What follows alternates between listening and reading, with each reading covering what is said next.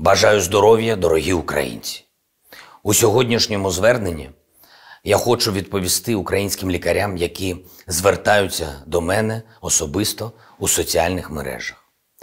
Перш за все, я хочу сказати: все бачу, чую, намагаюсь максимально швидко вирішувати ваші проблеми. Тепер про конкретні кроки, які робляться спільно з очільником МОЗ та головним санітарним лікарем. Перше звернення лікарів з міста Монастириська, що на Тернопільщині. Були проведені перемовини із департаментом охорони здоров'я. Склад медичного персоналу повністю укомплектований і продовжує працювати, за що їм велика подяка. Станом на зараз в лікарні є чотири апарати ШВЛ. Місцеве управління закупить ще. Відповідний тендер розміщено на Прозоро.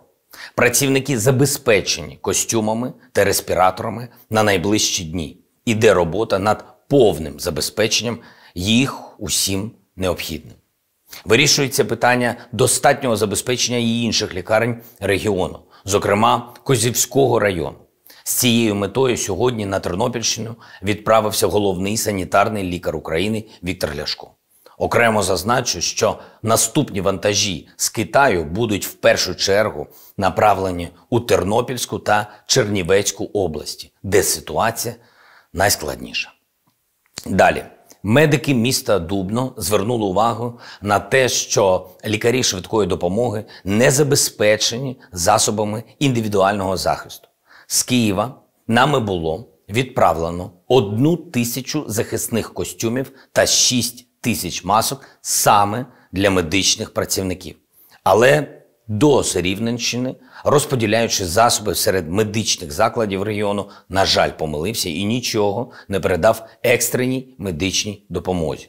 Вчора питання вирішено, передано захисні костюми, і наразі лікарі швидкої допомоги забезпечені масками. Мною поставлено завдання здійснювати жорсткий контроль за тим, як розподіляються медичні засоби та обладнання у всіх регіонах. До контролю будуть залучені співробітники Служби безпеки України. Все, що ми отримуємо, ми все віддаємо в області. Притримувати, розподіляти серед родичів чи друзів, або ще гірше перепродавати медичні засоби ми не дамо нікому. Також співробітники Служби безпеки України мають допомогти і у вирішенні іншої проблеми. На жаль, не всі керівники медичних закладів подають достовірну інформацію щодо забезпечення та прикрашають ситуацію. Це призводить до того, що Київ бачить від регіонів одні цифри, а реальна ситуація на місці гірша. Вирішення цього питання на особистому контролі головного санітарного лікаря України.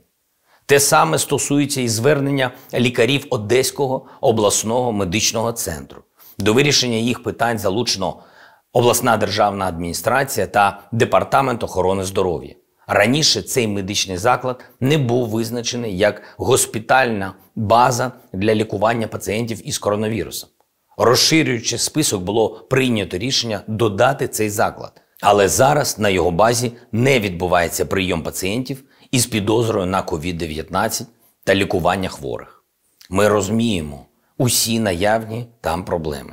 Туди вже доставлено респіратори та захисні костюми, а склад медичних працівників буде посилено. Вчора в лікарні була група епідеміологів, яка провела детальний та необхідний інструктаж, в тому числі щодо перепрофілювання інших відділень закладу. Також вчора новим міністром запроваджено єдиний протокол лікування хворих на коронавірус. Окрім цього, у Запоріжжі робітники екстреної медичної допомоги справедливо поскаржились на те, що їх не включили до списку медичних працівників, які отримують грошову надбавку за протидію коронавірусу. Це виправлено. Вчора МОЗ видав відповідний наказ. Також хочу сказати, що наші лікарі регулярно контактують з медиками міста Ухань. Вони постійно отримують важливу інформацію та передовий досвід китайських колег у протидії коронавірусу. А завтра, у рамках двосторонньої взаємної допомоги до Італії вирушить українська медична група. Вони допоможуть італійським лікарям у боротьбі з пандемією у цей найскладніший для них період. Вже за два тижні наша група повернеться в Україну з дуже цінним досвідом та знаннями. Це протидія коронавірусу у піковий період, швидке розгортання нових місць для обсервацій та мобільних госпіталів. Підсумовуючи, слід визнати, що сьогодні, на превеликий жаль, ми пожинаємо плоди знущання над українською медичною системою усі попередні роки.